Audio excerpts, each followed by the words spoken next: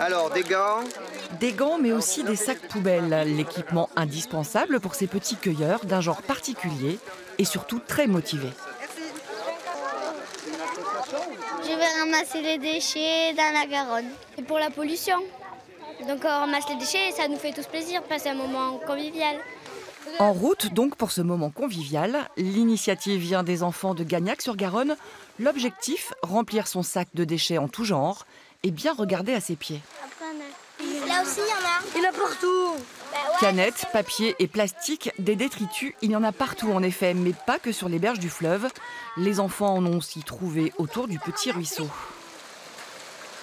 Il faut arrêter de jeter parce que ça pollue la terre et ça, ça donne des maladies. Ce matin, le micro-ondes rouillé fait la fierté de nos jeunes nettoyeurs.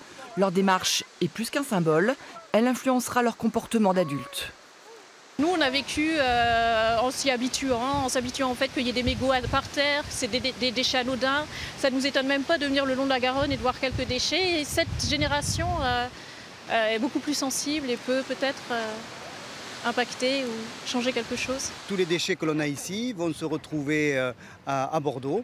Donc, hormis des associations bénévoles, on n'a pas les moyens de pouvoir nettoyer entièrement la Garonne. La Garonne, c'est 70% de notre eau potable. La protection de l'eau passe donc par la propreté de notre environnement. Les enfants ont bien compris les enjeux.